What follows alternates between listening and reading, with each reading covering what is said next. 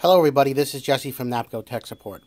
And today in this video we're going to go over how to enable your FireLink FACP for remote downloading through the integrated StarLink radio. We're going to start by locating the panel's master security code loaded, located inside the enclosure and note that. Now what we're going to need to do is enable the programming to accept the download. So what we're going to do is on the keypad annunciator, we're going to enter in our master code.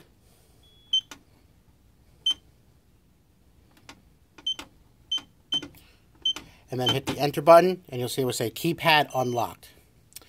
Now we're going to hit the menu button until we see the selection that says enable programming. Once we see enable programming, we're going to hit the next yes key.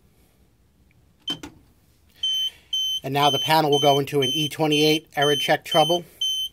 We can hit acknowledge to silence the trouble. Now the system is ready to accept a remote fire download um, from QuickLoader through the integrated radio. These same steps can also be used on the GEMC commercial series panels when using remote programming. The only way to clear this E28 error is to do a successful error-free download from QuickLoader into the panel. Now, just to review, we went over how to enable our FireLink FACP for remote download through the integrated StarLink radio. And as always, for more information, you can visit us on the web at tech.napcosecurity.com. Thank you all so much for watching today.